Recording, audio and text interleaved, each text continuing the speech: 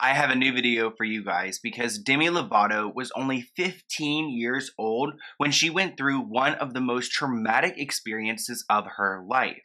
She has recently come forward in her new documentary about how Disney failed to protect her from the co star who harmed her. Today, we're going to talk about what she went through and what kind of monster could do this to her. So let's get into it. You guys all probably know who Demi Lovato is, but if you don't, she is a 28 year old actress and singer. She primarily focuses on her music now, but she got her start from Disney and acting on Disney kid television shows and movies. And today we're going to talk a little bit about the trauma that went on behind the scenes and what Demi is still coping with today. Because there was a bit in episode 3 of her documentary, Dancing with the Devil, where she mentioned mentions an experience at 15 years old. And during this time, she went through something with a fellow co star that will haunt her forever. And now she's brave enough to speak out against it. So I am going to talk about what she went through today and who could have done it. Because there are several guys out there that I believe could have been the one to do this to Demi. Let's start off by talking about what happened. Because, like I said, this was mentioned in the third episode of her four episode series on YouTube. And if you haven't watched it, you probably don't know what I'm talking about. I mean, honestly, the little bit about this in her documentary flew by. I mean, they talked about it for like what, two, three, maybe four minutes max, and then they just kind of moved past it. And I feel like as a viewer and someone who, you know, loves Demi Lovato, that I was like, wait, hold up. Like, what did you go through? Because it seems like this event really was the moment that kind of like started her downfall. You know, I mean, I've always thought of Demi as always like kind of going upwards and just improving and being a great artist. I mean, I don't think there's ever been a point where she wasn't like selling well or wasn't doing well musically. But at this point in her career, she like was peaking and then kind of went down in her personal life because she went through this traumatic experience with a fellow co star. And this co star never suffered any consequences. So Demi just had to deal with it and she was around this person for some some time. She never named the offender in her documentary, but we're going to talk about who we think it is. But before we do that, let's talk a little bit about the incident itself, because she describes it as a consensual experience that turned traumatic. She was hooking up with this guy and she told him, hey, this isn't going any further. She is a virgin and she doesn't want to lose it this way.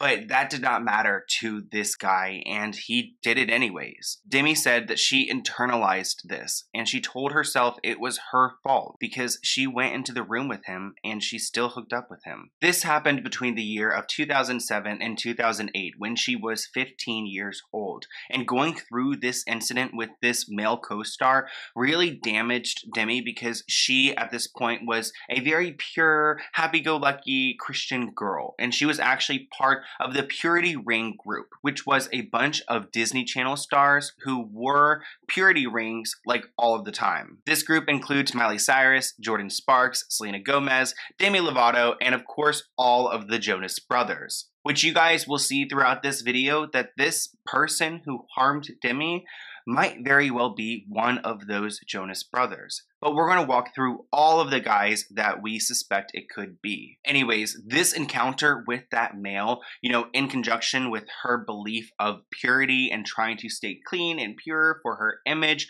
really messed with Demi, and this actually led her to having an ED. On top of that, she was also kind of like harming, like just, oh god, she was doing things to her body that obviously no one should do, but it was the only coping mechanism she had at the time. She was quoted saying, the Christian Southern girl in me didn't see it that way because doing this with a guy was not normalized as a child or in the South. She then continued in this segment of the documentary and shares that she actually told people about this and the guy never got in trouble. She said, and you know what? Screw it. I'm gonna say it. My hashtag Me Too story is telling somebody that someone did this to me and they never got in trouble for it.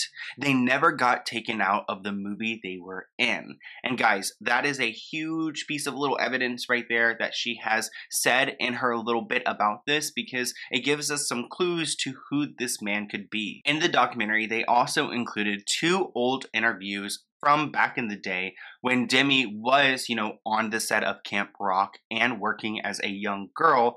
And in these interviews, it's really sad to see how she responds to this person because she acknowledges that even though she's young, she's gone through some very terrible things. She said in these little interviews that she is more aware of just life and people and the way the business works. She also said that she thinks she's able to protect herself a little more more.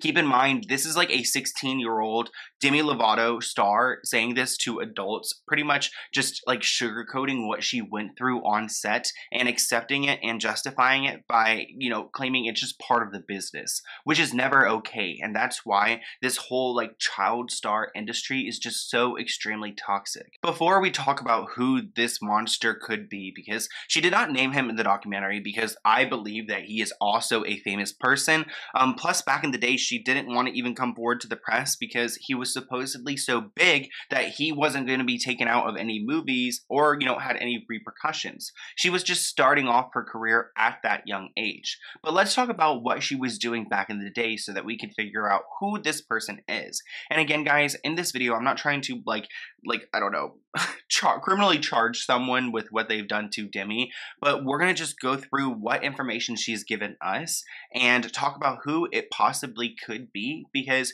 whoever this is is just out here in Hollywood probably being praised still even though they've done some awful things. Um maybe just to Demi, but also maybe to other people if they're capable of doing this. So let's talk a little bit about when this happened because Demi is currently 28 years old and she was born in August. So that that means she was 15 between the age of August 2007 and August 2008. At this point in her life, she just finished production on as The Bell Rings, which was filmed in Texas and premiered August 26, 2007. So it's safe to assume that she is 14 at this age. It seems like she has a little break between August and December, and actually in January 2008 is when she starts filming for Camp Rock. I do want to go ahead and just say, guys, I do believe that this incident happened during her Camp Rock days, but let's go ahead and talk about the other projects going on at that time. So Camp Rock was was filmed January to March 2008. Then from March 14th to April 18th, 2008, they filmed Princess Protection Program, which was another project that Demi worked on. Then from July 4th, 2008 to December 20th, 2008, she was on the Burning Up tour. So obviously we're approaching late 2008 and this is when she would be turning 16 years old. A lot of people also believe that she could have gone through this horrific event during during the production of Sonny with a Chance, which I try to do some research on production dates. There is literally nothing out there, I even on Wikipedia, but someone on Reddit found a list for a casting call that had the date September 3rd, 2009, which would have meant that they were doing castings at this time and it probably wasn't in production when she was 15. And just to cover our bases, let's talk about what she did after this time because in 2009, September through October, October, she was filming Camp Rock 2 The Final Jam. And then finally, through August 7th, 2010 to November 13th, 2010, she was part of the Jonas Brothers live in concert Camp Rock 2 press tour. Oh my gosh, that is a mouthful. So now that we know what she was doing back during this time, let's talk about the information we have from the documentary, what she has given us. So like I mentioned earlier, she said she was 15 years old. So that means it happened either between August 2007 or August 2008. She also mentioned in the documentary that about a month after the horrific event happened, she actually reached out to the guy who did it to hang out because she kind of wanted to redo the situation and give herself a feeling of control, which she says she ultimately regrets. She also shares that she had to see this person all of the time after these two incidents, which could mean a couple of things that they either worked together on projects or they had to do press together. And then finally, when she came out and spoke about it back in the day, nobody did anything about it. She specifically says that they were never taken out of the movie they were in. So that right there is a huge clue because that means they were part of the production that Demi was a part of as well. Oh god, before we get into the actual guys, I'm just like, it makes me like I'm I feel so bad for Demi. Like if you guys watch the documentary, which I definitely recommend, she has gone through so much. And to think that this guy is just out here living his best life after he did this to her really sickens me. And I hope that like this documentary helped like give her some closure or some comfort around all of these situations. But for other viewers, it's left us feeling a little bit icky about our past, you know, watching these shows and being huge fans of Camp Rock and things like that. Because is it true that the Jonas Brothers or these other guy actors did this? I mean, I'm not too sure, but I want to walk through the potential guys that I believe could have done this to Demi. This is all going to be alleged and you know speculation, but also I'm just going back on receipts that we have available to us to try to fill in the puzzle. So don't send any hate to any of these people. I don't actually know if they did this to Demi. She has not said that, but I have a pretty good idea of who I think it is. And before we go through these suspects, I do want to say that even though Demi was harmed by this person, does not mean that this person was out of her life because a lot of people who go through these situations end up staying in communication with their attackers because it's just so overwhelming, especially if they are Disney co-stars together. Like how on earth do you get out of that situation when you are so wrapped up with these guys in your career and if you speak up about it, which she clearly did not feel comfortable doing, she would have probably been ripped apart by the press. I mean, at 15 years old, she was just starting off in the scene and being taken seriously as an artist. So to have a big scandal come about probably wouldn't have looked good for her. And it's so sad to think that because like the I guess the energy back then just wasn't the same. I feel like nowadays if you come forward, you are going to be supported and praised. But to think that Demi was like so fearful to even share this and when she did, nothing happened. Of course, she never felt comfortable speaking out. So let's go ahead and talk about the Jonas Brothers because everyone thinks that it is them. And before we get to Joe, I want to talk about Kevin and Nick first because Kevin actually was dating his now wife, Danielle, back in the day. And I don't think that Kevin would have done this to Demi because he was 20 years old. He was in a very serious relationship, and it doesn't seem like he would have had any interest, you know, of being with her. Again, that doesn't obviously write him off completely, but when I go back and look at the time span to see that he was with Danielle, makes it seem like he was pretty secure in his own relationship. As far as Nick, there's not much evidence that proves him not guilty. But if you think about Nick and Demi's relationship, you might be a little confused on why he would have been the one to do this, because they are very, very close friends. And honestly, I don't think that she could be that close to someone who did something so bad to her.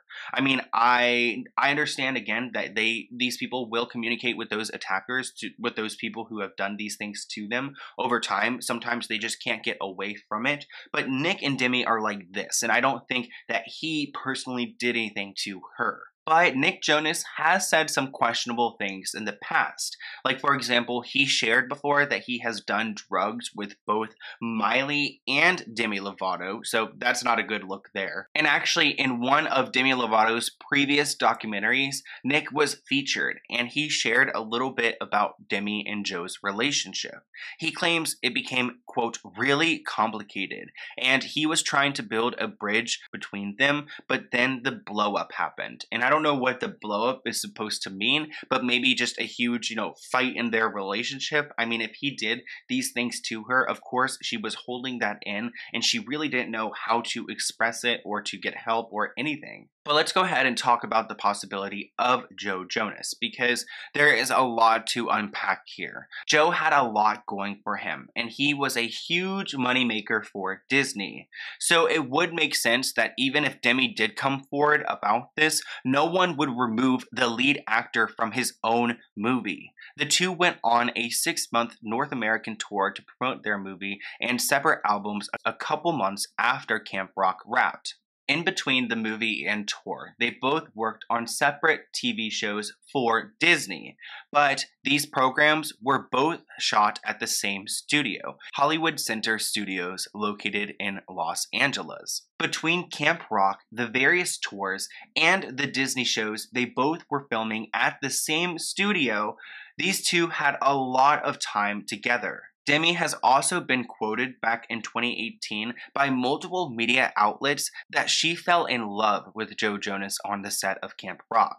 The two officially began dating in 2010, which was two years after the first Camp Rock movie, but they only ended up dating for two months, something that Joe claims was his choice to break up with Demi. If Joe did this, it would have been a huge deal because he would have been 18 at the time and she would have been 15 years old. The only piece of evidence that kind of clears Joe's name was from an Ask Me Anything, where he shared that he lost his V card in 2010 2011 to his girlfriend Ashley Greene. Does that fully clear his name? Obviously not. But does anything I've even presented really, you know, make him guilty? It doesn't. And would it make sense that Demi would rather not name him because she is so intertwined with their family and, you know, being tight with Nick and just, you know, being being, I guess, associated with them for so long, it might be really damaging to everyone if it ended up being Joe. But also, this guy seems like he's the most likely candidate to have done this. Obviously, Joe would be in the wrong for what he did. I mean, he was 18 years old.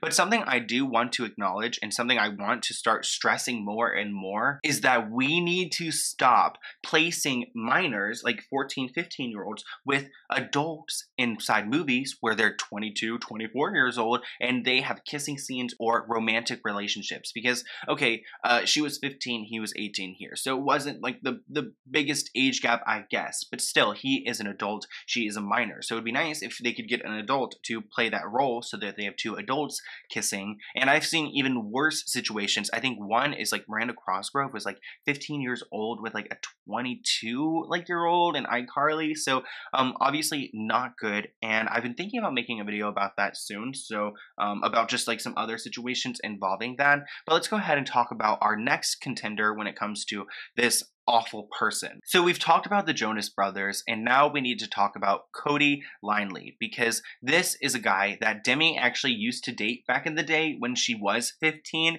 and they have tons of photos together. I mean, in 2017, Demi actually congratulated Joe on his engagement, so maybe she doesn't have a grudge if it was him, but it also just doesn't really add up. Another possible suspect would be Roshon Fegan, and he is actually from Disney's Shake It Up and he was probably working on set with Demi around the same time as she was working on Sonny with a Chance. They both were on Camp Rock together, but it doesn't seem like they actually spent as much time together as other people.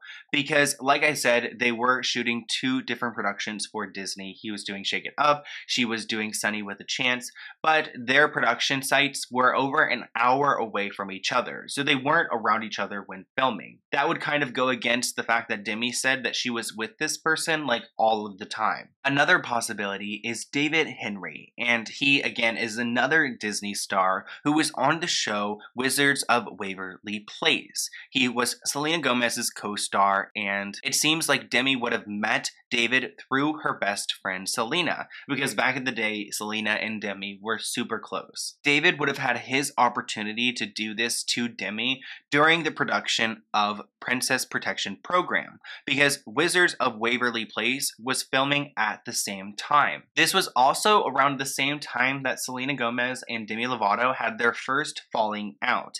And some people suspect that it could be because of what was going on with David and maybe Demi trying to take down David and have him, you know, fired from Disney for what he did to her. But obviously, the Disney execs would rather protect the criminals and the disgusting people out there than their own talent. The final person who I think it possibly could be is a man named Jordan Francis, and he was part of the Camp Rock crew. He really didn't do anything else back in 2008 through 2010. I mean, Camp Rock was his main deal, but he was one of those cast members who went on the Camp Rock 2, the final jam promotion tour, and there are tons of pictures of him from behind the scenes with Demi. So he was a guy who she was constantly around, um, doing promotions with, and could have been someone that did this to her.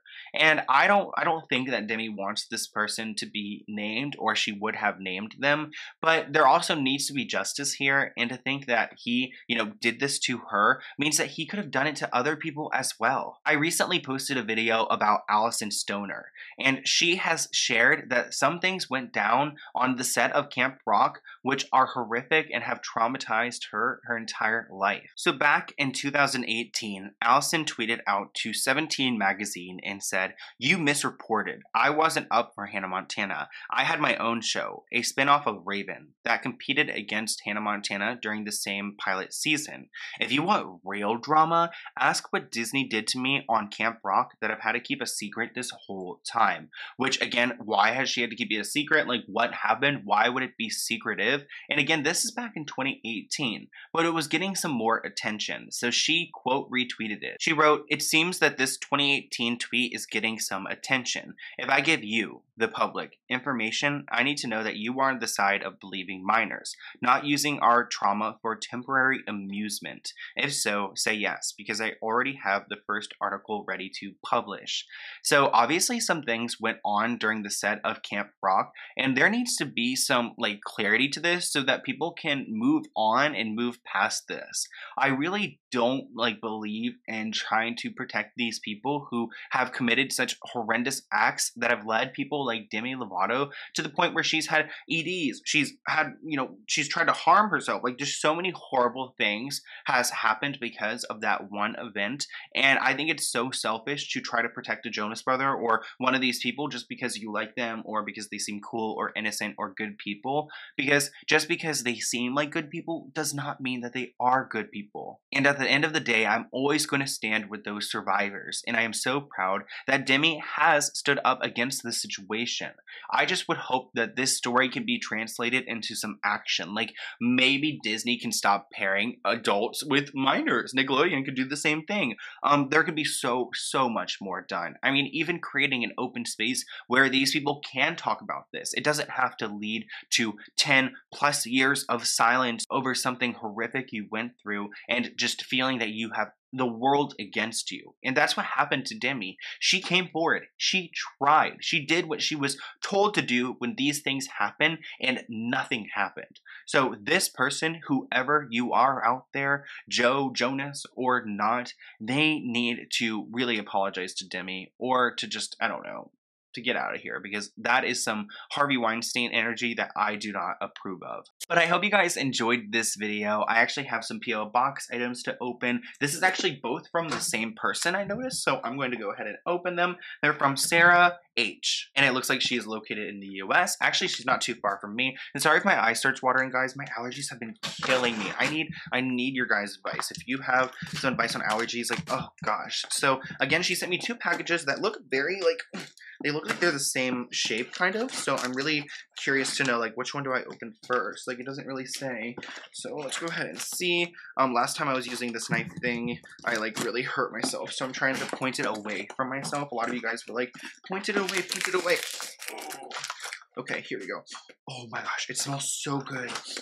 Why does it smell so good in here? Okay, so it looks like the letter is in this one, but let's go ahead and just get the other box open because you guys know it's going to be a struggle. Um, okay, Sarah, wow, this is so legit. Okay, ooh, okay.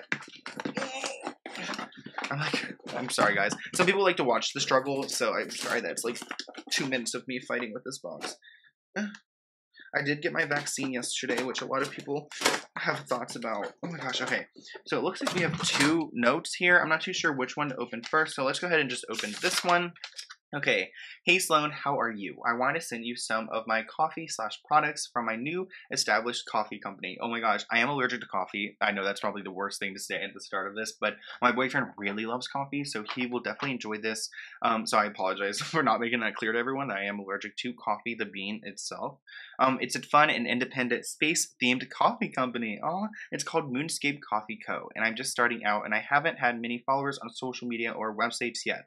Oh, COVID has been a struggle mentally and financially. Oh, okay. So if you please share this with your fans. Yes, of course I'll share with my fans. I recently started watching your channel, and I have to say thanks for being a great person and for always um, talking about important issues. Oh, thank you so much, and thank you for reading this. Sarah H. Oh, I really appreciate that. And again, I know I, I can't like drink coffee, but it doesn't mean I cannot not appreciate it, and my boyfriend's gonna be so excited. So here is a sticker. The brand looks really cool, and again, everything will be linked below if you want to go check it out and support. I know most people do drink coffee. this hat is legit though. Look at this. Yes, my hair has been a total mess, guys. I need to get a haircut. What do you think I should do? Should I cut my hair all off? I don't know. Um, okay. wow, this is what smells good, though. I was telling you, I was like, something smells really good, and it's literally the coffee. Like, oh my gosh, this, my boyfriend's gonna freak out. Like, Mark! I need to show him. It's French. I think he's gonna love this. Like, this is such a legit pack of coffee. Mark! Should I FaceTime him? He, like, can never. Ugh one thing about Mark is that I'll call his name and I'm like, I'll be two feet from him and I'll be like, Can you not hear me? Like, how do you not hear me? I'm literally yelling your name. Um, I want to show him the coffee though because I think he'll really like that. Ooh, so this is one box, and let's go ahead and see the note from this box while I try to call Mark. He's literally in the other room and he cannot answer. Hey, come here. Why? I just want to give you this thing. Bye. Okay. Hey Sloan, I want to send you a package of coffee from Moonscape. Oh, so this is also a second note. Um, I'm sending you this as well. Oh, I have an Etsy shop where I sell soap called Handmaden Soap and Candles. Oh, I established in 2020. That's awesome. See, this is something I can really enjoy. I'm currently in grad school studying to become a teacher. I love being creative. Oh my goodness. Look at this big pack of coffee. That's what it is. Come on camera a little more. That looks so. You don't have to. You don't have to look any type of way. But this is. Isn't that good? It's French. It's from someone's space themed coffee company. I love that. Wow. Do you like this type of coffee? Yes. Oh my gosh, the cold brew blend. I was just thinking today I need to make cold brew. Well, this is like a lot, isn't it? Like this is like a huge package. Oh well, thank say thank you to Sarah. Thank you, Sarah. Yeah, he's gonna be enjoying that coffee. So I'll be sipping this. she's tomorrow currently in grad school. She's studying to become a teacher. She loves she loves being creative, and after suffering from anxiety, oh, I don't like the word suffering. I like surviving. And after surviving anxiety this past year, this has become sort of an outlet for me to get rid of some stress. So she also sent me some soap and some things from her company. Oh my gosh, she sent me so morning. much stuff here. Really I know. She's like a businesswoman over here. Look at these little candles. Oh my gosh, this smells so good. Smell. nice little votive candle. Smell. Oh my gosh, it smells like a like one from like Yankee or something. and these soaps. Look. Oh my gosh, we got smell this one. This one smells so good. Oh. It gets me so excited. This one's like whisk rustic whiskey. Espresso bar. This one's rustic whiskey. This, the coffee one smells so good. Is that what the coffee was? It smelled yeah, good It too. smells good. This one's light brown mountain soap. Oh my gosh. The whiskey soap. Okay. Uh, try that one. There's so much good stuff in here. What is going on, guys? So everything will be linked below. This awesome small business, Sarah. You are like thriving out here. Let's see what this thingy is. This one is probably my favorite. The light brown mountain soap. I think so too. It smells so good. It smells like really like a good earthy smell. Oh my gosh, this is a bamboo soap holder. you are so nice, Sarah. I could totally Oh my god, that's so, so, cute. Cool. So oh my gosh. Yes. Aw, thank you so much, Sarah. I will list both of your businesses below. Guys, definitely go check it out. These are awesome. Whew, I really appreciate all the stuff. and uh, thank you guys for watching this entire video. I will see you guys in a new video soon. Want to say bye? Say bye, guys. Bye, guys.